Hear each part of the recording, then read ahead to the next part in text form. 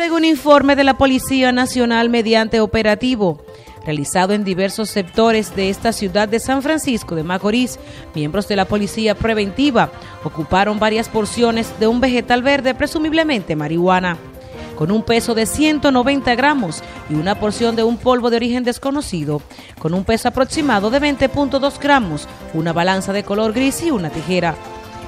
También resultó detenido el nombrado Luis Ramón Polanco, de 18 años de edad, residente en la calle San Miguel, salida a Tenares de esta ciudad de San Francisco de Macorís.